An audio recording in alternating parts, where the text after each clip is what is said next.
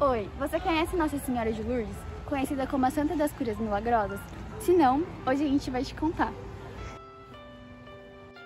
Foi no ano de 1858 que Nossa Senhora apareceu 18 vezes em uma gruta para uma jovem conhecida como Santa Bernadette. Tudo começou no dia 11 de fevereiro de 1858, quando na cidade de Lourdes, na França, uma jovem chamada Bernadette saiu de sua casa para buscar lenha e nisso numa gruta quando viu uma mulher de branco. Ela se aproximou da mulher e elas começaram a rezar juntas.